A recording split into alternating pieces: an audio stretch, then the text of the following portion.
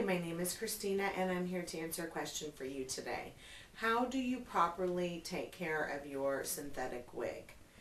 When you have a synthetic wig, you definitely want to keep it away from heat.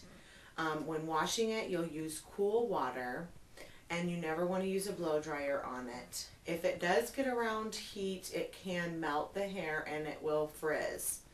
When storing your wig, you want to store it in a cool, dry place.